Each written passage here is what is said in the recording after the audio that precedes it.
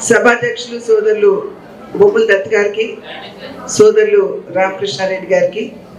అదేవిధంగా ఈనాడు పార్టీలో చేరినటువంటి సోదరిమణి చీలి విజయ్ గారికి వేదిక మీద ఉన్నటువంటి కొండలరావు గారికి వారితో పాటు పార్టీలో చేరినటువంటి సహచరులందరికీ మరియు వేదిక మీద ఉన్నటువంటి పెద్దలు ప్రతి ఒక్కరికి పేరు పేరున అదే విధంగా వేదిక మీ ముందున్నటువంటి సోదర సోదరి మండలి అందరికీ కూడా పేరు పేరున నా నమస్కారాలు నేను తెలియజేస్తున్నాను.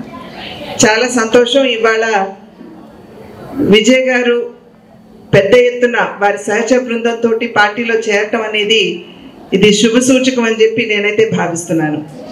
భారతీయ జనతా పార్టీ దినదిన ప్రవృద్ధిమానంగా బలపడుతున్నటువంటి అంశానికి ఇది సంకేతం అని చెప్పి ప్రతి ఒక్కరూ కూడా గమనించవలసినటువంటి అవసరం ఉన్నది అని చెప్పి కూడా నేను తెలియజేసుకుంటున్నాను.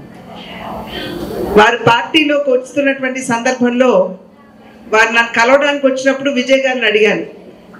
మీరు ఎందుకు పార్టీలో చేరాలనుకుంటున్నారు అని చెప్పి అడిగినప్పుడు నరేంద్ర మోడీ గారు దేశానికి చేస్తున్నటువంటి సేవ రాష్ట్రానికి అందిస్తున్నటువంటి సహకారం అదేవిధంగా దళితులకి గు- ద- దళితుల్ని గుర్తించినటువంటి సందర్భంలో మేమందరం కూడా పార్టీలో చేరాలనుకుంటున్నాం అని చెప్పి విజయ్ గారు చెప్పడం జరిగింది.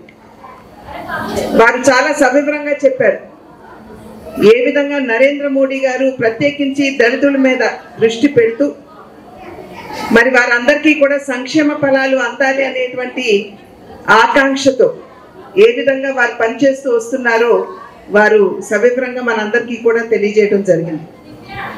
ఈ సందర్భంలో ఒక్క విషయం మనం ఖచ్చితంగా గుర్తు చేసుకోవాల్సినటువంటి అవసరం చాలా ఉంది.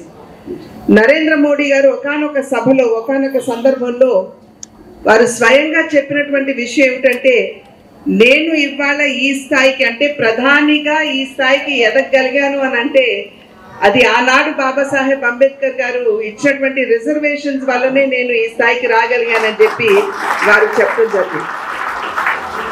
అది మాత్రమే కాకుండా ఈ మధ్యన ఎన్డీఏ కూటమి గెలిచిన తరువాత ఢిల్లీలో వారు ప్రమాణ స్వీకారం చేయక ముందు ఎన్డీఏ కూటమికి సంబంధించినటువంటి భాగస్వాములందరినీ కూడా పిలిచి ఒక మీటింగ్ పెట్టినటువంటి సందర్భంలో వారు వారు మొట్టమొదటిగా హాల్లోకి వచ్చిన వెంటనే ముందు వెళ్ళి నమస్కరించింది మన భారత రాజ్యాంగానికి అని చెప్పి మనందరం కూడా ఇక్కడ గమనించాల్సినటువంటి అవసరం ఉంది.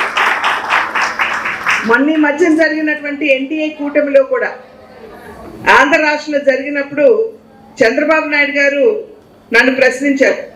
అమ్మ పురదేశ్వరి అక్కడ కనుక ఢిల్లీలో కనుక ఎన్డీఏ కూటమి మీటింగ్ జరిగితే మీరు ప్రధానంగా అక్కడ ఏం పెడతారు అని అంటే సాధారణంగా ఏంటంటే మాకు బీజేపీ మీటింగ్ జరిగినప్పుడు శ్యామప్రసాద్ ముఖర్జీ గారు దీన్ దయాల్ ఉపాధ్యాయ గారు భారత్ మాతకి సంబంధించినటువంటి చిత్రపటాలు పెట్టి నివాళులు అర్పించి జ్యోతి ప్రజ్వలన చేసి ఆ తర్వాత మా కార్యక్రమం ప్రారంభించుకోవటం అనేది మాకు పరిపాటి. కనుక దాన్ని దృష్టిలో పెట్టుకుని అడుగుంటారని చెప్పి నేను అనుకుంటున్నాను. ఆ సందర్భంలో వారికి చెప్పాను. మేము కనుక ఎన్డీఏ కూటమి మీటింగ్ ఢిల్లీలో కనుక నిర్వహించుకున్నట్లయితే ప్రధానంగా ముందు నరేంద్ర మోడీ గారు గౌరవ వందనం చేసేది భారత రాజ్యాంగానికి బాబాసాహెబ్ అంబేద్కర్ గారు రచించినటువంటి ఆ రాజ్యాంగానికి అని చెప్పి నేను వారికి సమాధానం కూడా చెప్పడం జరిగింది. అదేవిధంగా ఇవాళ చూసినట్లయితే చాలా వరకు బాబాసాహెబ్ అంబేద్కర్ని మా నాయకుడు అని చెప్పుకునేటువంటి పార్టీలు సరైనటువంటి గౌరవం వారికి ఇవ్వలేదు అనేటువంటి విషయం కూడా మనం సుస్పష్టంగా అర్థం చేసుకోవాలి. బాబాసాహెబ్ అంబేద్కర్ గారికి భారత్ రత్న ఎవరు ఇచ్చారంటే కాంగ్రెస్ ప్రభుత్వం ఇవ్వలేదు.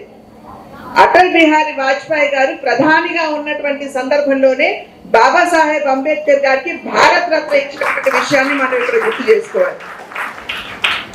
అదే విధంగా తిరిగి నరేంద్ర మోడీ గారు ప్రధానిగా బాధ్యతలు స్వీకరించిన తర్వాత వారు నిజమైనటువంటి నివాళి బాబాసాహెబ్ అంబేద్కర్ గారికి అందివ్వాలి అనేటువంటి ఆలోచనతోటి ఎందుకంటే వారు స్వయంగా చెప్పారు ఇవాళ ఈ స్థాయికి నేను వచ్చానంటే రాజ్యాంగం ఇచ్చినటువంటి అవకాశాన్ని అందిపుచ్చుకుని నేను వచ్చానని చెప్పి వారు చెప్పారు. ఆ సందర్భంలో బాబాసాహెబ్ అంబేద్కర్ గారి జీవితా జీవితంతో ముడిపడినటువంటి ఐదు ప్రాంతాలు. వారు జన్మించినటువంటి ప్రాంతం మావ్ అని చెప్పి మధ్యప్రదేశ్లో ఉంటుంది. అదే విధంగా వారు విద్యను అభ్యసించినటువంటి ఇల్లు ఎక్కడైతే నివసించారో అది. తర్వాత వారు మంత్రిగా బాధ్యతలు నిర్వహిస్తూ నివసించినటువంటి ఇల్లు. చివరిలో వారు పరమపదించినటువంటి ఇల్లు.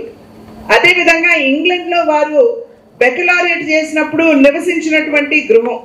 వీటన్నింటినీ కూడా భారత ప్రభుత్వం కొని వాటన్నిటినీ పంచ తీర్థలుగా అభివృద్ధి చేసిన ఘనత కూడా నరేంద్ర మోడీ గారికి భారతీయ జనతా పార్టీకే దక్కుతుంది.